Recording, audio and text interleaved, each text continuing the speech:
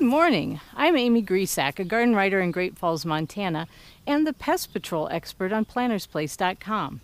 This morning I want to talk to you about trimming out branches due on fruit trees because of fire blight.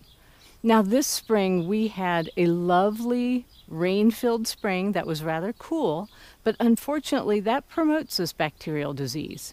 Fire blight is carried by the wind, but it's also even more carried by bees visiting flower to flower. So even after a great spring that got everything going, we're having to deal with some disease issues now. And I noticed on many of my apple trees, apples are failing, the leaves are curling up and dying. And while this isn't the classic symptom of fire blight with that scorched appearance, and so oftentimes black in the in the branches and stems, we've dealt with it for so many years that I know I need to remove these areas in order to pre- prevent the spread this year and also minimize the impact in years to come.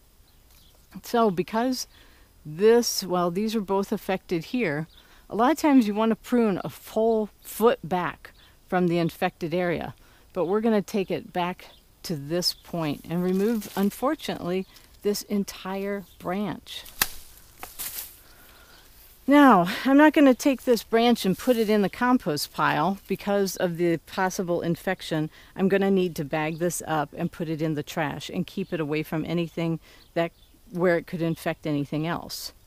And in the meantime, while I continue to prune, I wanted to point out that in between cuts, you need to wipe off your clippers with a bleach solution or a disinfecting solution of some sort.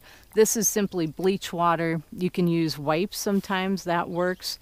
But whatever you do after every cut, you want to make sure it's disinfected. So looking at this again, it looks like this branch is going to have to come off too. And it does, and unfortunately with apples. This particular tree is called Fireside which is my absolute favorite type of apple. Unfortunately, it's also very susceptible to fire blight, which is a good consideration. If you have fire blight in the area, you might want to find varieties that are more resistant to it. So looking at the tree, it looks like there's more I'm going to have to remove today, but at least this will give you an idea. If you have fruit that's failing and leaves that are wilting, you have to prune to save the tree. So get your clippers, sharpen them up, have a bleach solution or disinfectant ready and prune away all that bad looking stuff.